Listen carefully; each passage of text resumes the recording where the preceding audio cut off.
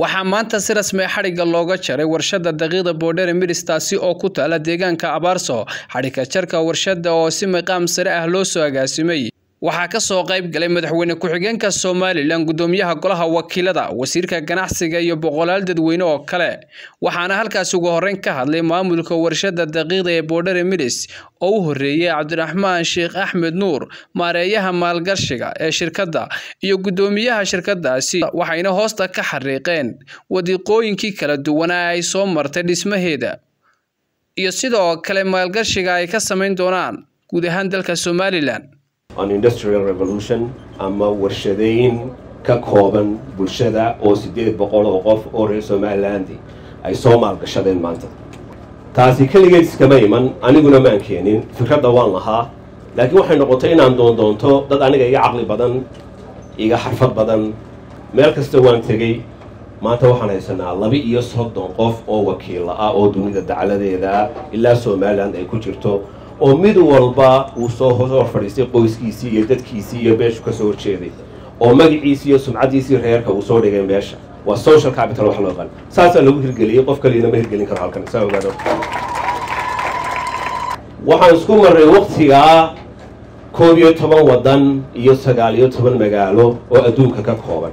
Oo si walbana loogu soo dhaweeyey warshaddani waxay kifaynaysaa boqolkiiba toban daqiiqda inooga soo degta dibadda iminka boodheri milis waxay rajaynaysaa ilaa boqolkiiba soddon ilaa boqolkiiba afartan markay dhammayso fayskeeda labaad iyo fayskeeda saddexaadba inay taa ku guulaysato. Marka ay noqoto meel sugnaanta cuntada dalka iyo dhaqaalaheeda iyo sixir bararka iyo shaqaalahaba ka dawa noqon karta.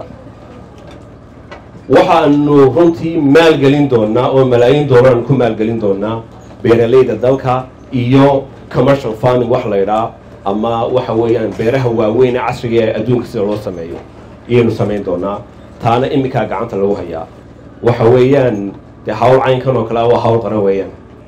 Saamilayda shirkaddu boqolkiiba waa shan iyo soddon shan iyo afartan waa dumar. Kharashkii warshaddaa lagu dhisay oo dhan waa la bixiyey. Wax maanta laynagu leeyahay amba amaaha oo dayni ma jirto. Khasladeennu way noo buuxdaa.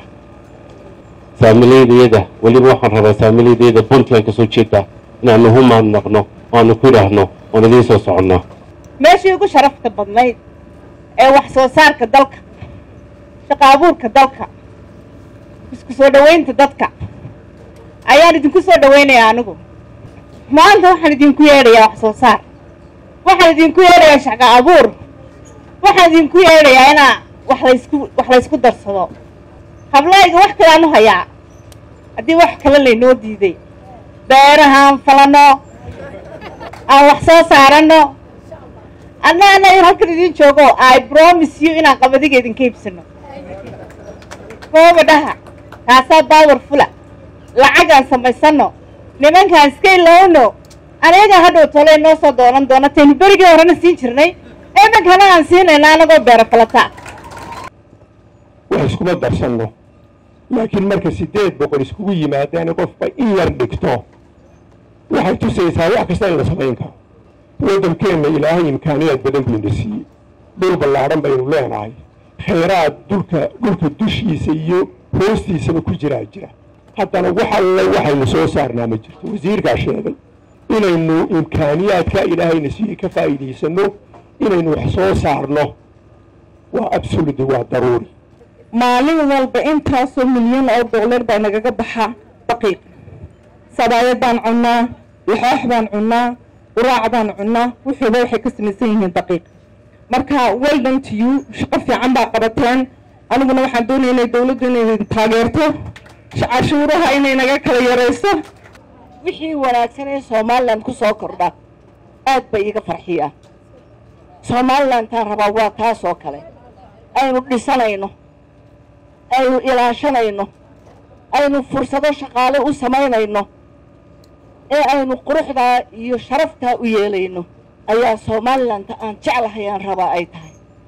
Ciddii hindisaha keentay hawshaa badan u gashay in mashruuca intaa la egay uu suuro galo. Waxaan ilaahay uga baryayaa in ilaahay ka abaalmariyo waan congratulate garaynayaa cabdiraxmaan iyo mustafe waa niman aan soo ag joogay intii ay korayeen ee ay iskuul gelayeen ee ay jaamicada ka baxayeen ay mashruucan wadeen. Waxaanan ku kalsoonahay inay mashruucan hirgelinay wasiirka wasaaradda ganacsiga maxamuud xasan sacad saajin cabdirasaaq khaliif axmed gudoomiyaha golaha wakiilada ee somalilan iyo madaxweyne ku-xigeenka somalilan oo hadalka iska daba qaatay waxay tilmaameen. Somalilan exaambul fiican oo lagu daydo dadkeenu isku daydaa wasaaradda ganacsiga joogaayo mid baa wax keeni. Boqolba boqol wixii sidaa haddana imanaysa maalinta kale. Marka waxaan filayaa in aad barteen dadka sidii wax laysu darsan lahaa. Talasoo waxay ahayd shirkadda kelihaate ee maalgelin shicib ku socota. Tii labaad baa tiri waxaan filayaa boqolaal noocaas ila yimaadiin adduunyadaba ogaado oo horumarku wuxuu ka bilaabay markii wax laysku dardarsaday wasaaradduna ay ku dadaashaa siday u borotagti garayn lahayd wax soo saarka gudaha wax kasta oo aynu gudaha ka soo saaro wixii la tartamaya in la saaro cashuur dheeraada oo cashuur dheeraada lagu soo rogo. Waayo haddii kale wax soo saarkeena guduhu hana qaadi maayo.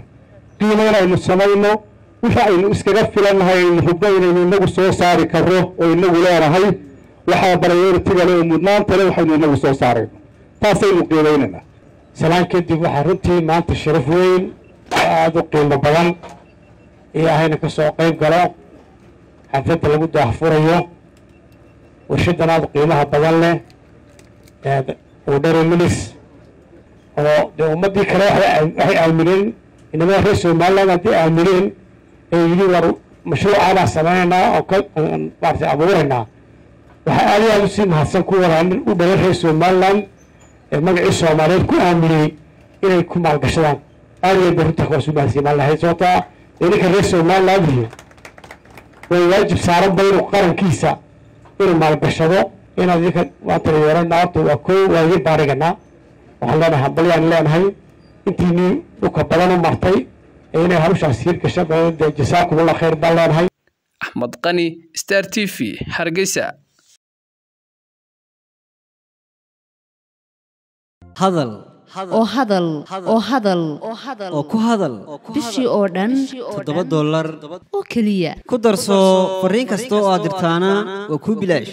Haddaba si aad ugu shubato adeega kaafiye fadlan garaac xidig siddeed eber siddeed afargees ama xidig laba eber laba afargees. Isticmaal shabakadda ugu ballaadhan geeyiga somalilan